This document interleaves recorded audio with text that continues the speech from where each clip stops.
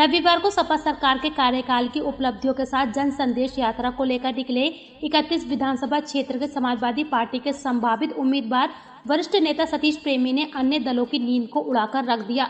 रविवार को सपा नेता सतीश प्रेमी के नेतृत्व में समाजवादी जन संदेश रथ के साथ हज़ारों कार्यकर्ताओं ने मोटरसाइकिलों पर सपा के झंडे, बैनर लेकर जन संदेश यात्रा के साथ अखिलेश यादव जिंदाबाद, मुलायम सिंह यादव जिंदाबाद के नारे लगा रहे थे।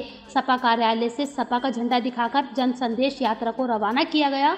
जन संदेश यात्रा इकतीस विधानसभा क्षेत्र के जनेटा, नरौली, सराय, सिकंदर बाबई, नगलिया, बबलू, कासमपुर, जगरूप मऊअस्सू गाँव में होते हुए वापस भेजोई रोड स्थित कार्यालय पर जन संदेश यात्रा का समापन हुआ।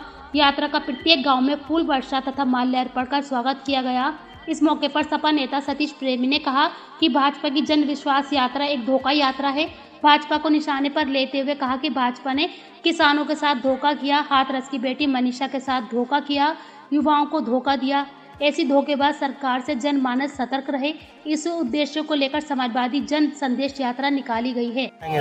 मैं सिर्फ़ ये कहना चाहूँगा कि आज समाजवादी पार्टी की संदेश यात्रा अपने नेता अखिलेश यादव जी के जो किए हुए कार्यों को लेकर के निकले हम लोग, पब्लिक को बताने, जनता को जागरूक करने के लिए निकले कि जनता अखिलेश यादव जी की सरकार में ही तमाम नीतियाँ, जो जनहित की नीतियाँ थी, उनमें लागू थी। लेकिन आज बीजेपी के लोग जन विश्वास यात्रा को लेकर जो निकले वो जनता के साथ धोखा है। उनको जन विश्वास यात्रा निकालने से पहले मनीषा बेटी, जो हाथरस की बेटी थी, उसके परिवार को विश्वास में लेना चाहिए। उन किसान आंदोलन में मारे गए 700 लोगों को, जिन्होंने अपनी सादत दी, उनके परिवार को विश्वास में लेना चाहिए था।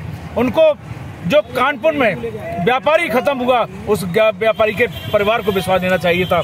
आज विश्वास में लेने की, बिना जनता को विश्वास में लिए, जनता के साथ कुकर्म करोगे, उनकी हत्याएँ करवाओगे, उनके खिलाफ नीतियाँ प्रसाद करोगे, उसके बाद जन विश्वास की बात करोगे। ये संदेश, समाजवादी संदेश यात्रा, जन विश्वास यात्रा के विरुद्ध जो धोखा देने काम कर रहे हैं, उनका खुलासा करने का काम करेगी। इसी को लेकर के आज हम चंदौसी विधानसभा क्षेत्र में इस यात्रा को लेकर निकले हैं कि अखिलेश यादव जी नीतियों को, समाजवादी नीतियों को जन जन तक पहुँचाने का काम करेंगे।